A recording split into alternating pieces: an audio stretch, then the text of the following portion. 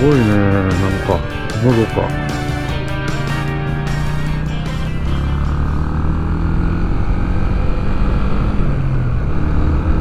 日本昔話に出てきそうなね。風景ですよね。悪い鬼がね。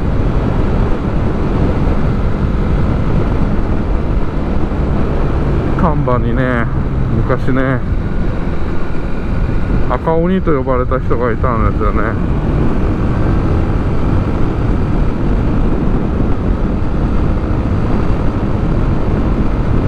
まあ別名をね悪右衛門。悪右衛門とかね丹波の赤鬼。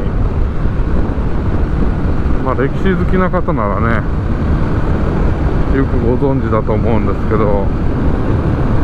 赤井直政のことなんですけどね。まあ途中で荻野という名前にも変わってはいるんですけどね。一般には赤井直政。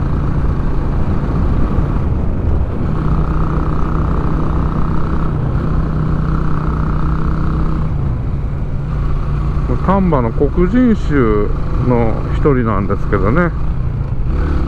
実際にはかなりの半島その赤井直政の時代にはね持っていたみたいで秦野秀治を抜いてね丹波の国内では一番の半島を持ってたとも言われてますね。12万石ぐらい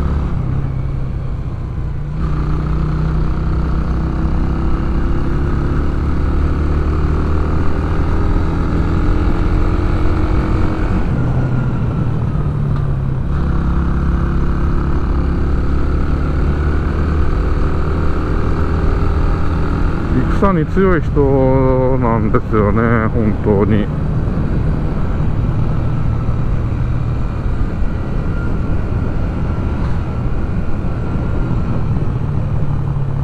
多分武勇だけじゃなくねそういう戦略眼っていうのも持ち合わせてたんでしょうね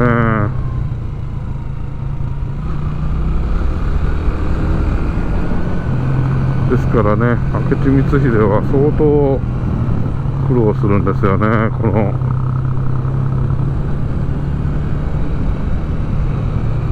いざ丹波攻めをしたけれどもね。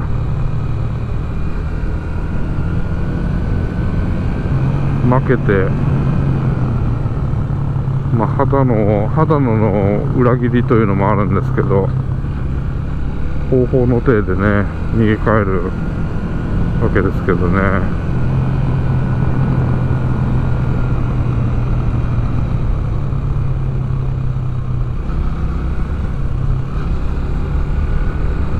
まあ、光秀がね丹波を、まあ、手中に収めれた。のもねこの赤いのうまさがねその一回三井で負けて帰って滋賀のね坂本城で寝込むんですよね。まあ多分命からがら帰ったんでしょうね。でもその後ね赤い直政が死んでしまうんですよね。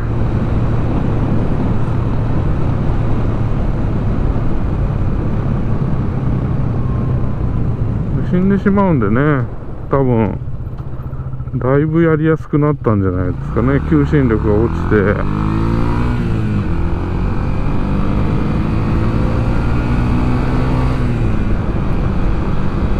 残るはね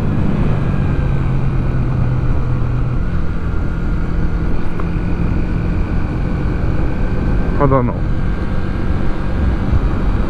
ただの秀治ぐらいですからね、八上城に同情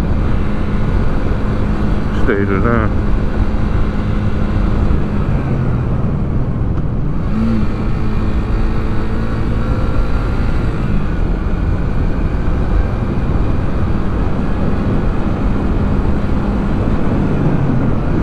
井直政と原野が健在だったらね なかなか光秀も手こずったでしょうね。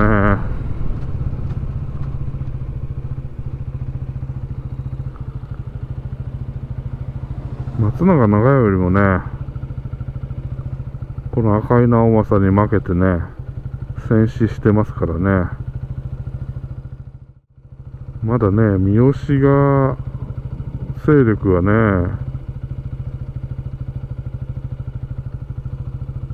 衰えてない時代。三好のね力がすごかった時代にその三好勢をね打ち破るっていうのもなかなかのもんですよね。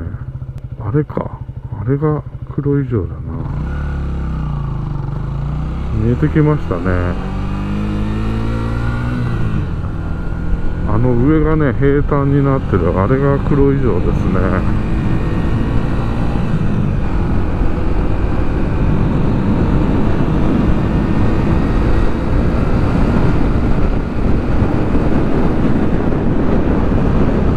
走ってみるとね武田城とやっぱりね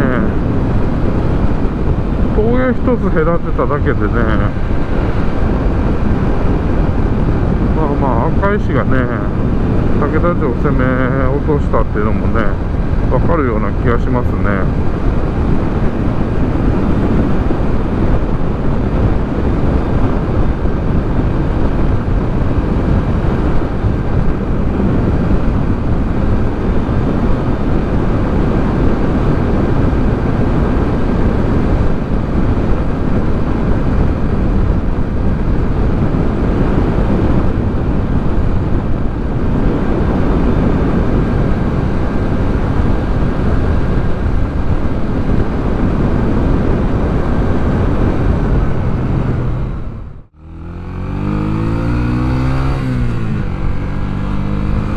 こね右を流れる小さい川がね黒井川だと思うんですけどね。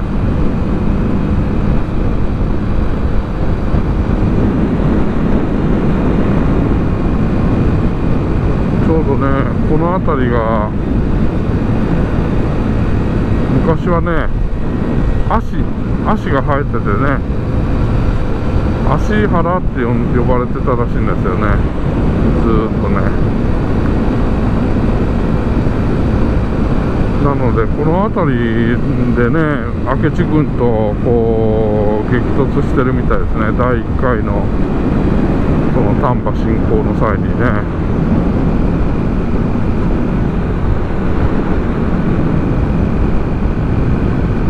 あそこ黒い城ですもんね。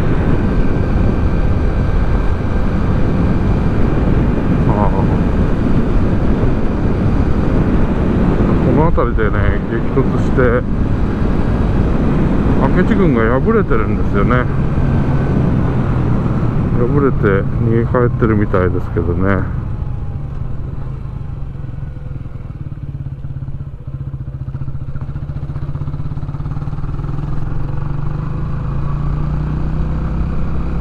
でなんでもねその時あの矢文が飛んできてまあ、それをね拾おうとしたのか。するとねその明智の兵がね一生懸命探すんですけどなかなかなくて。ああれか。あれが心かな。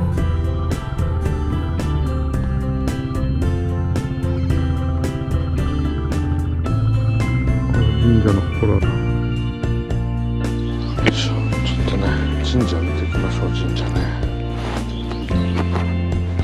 いや海が飛んできてね。それが蛇になったっていう。言い伝えのあるね神社があるんですよね。あこれか。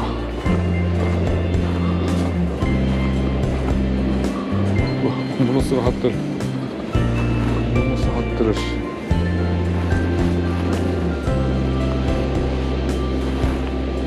小さい神社ですね。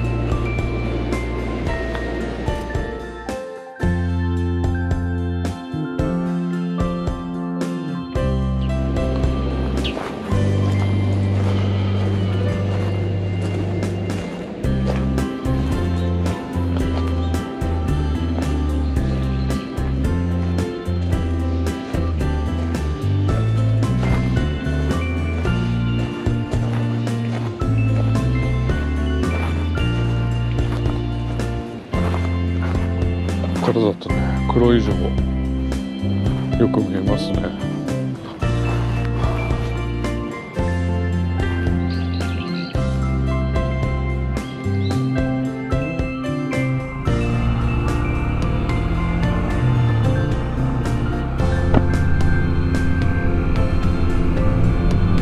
さあ今ね芦原明神ちょっとね拝んできまして。まあこの辺りでね激戦があったみたいでね昔。で正面が黒以上ですね。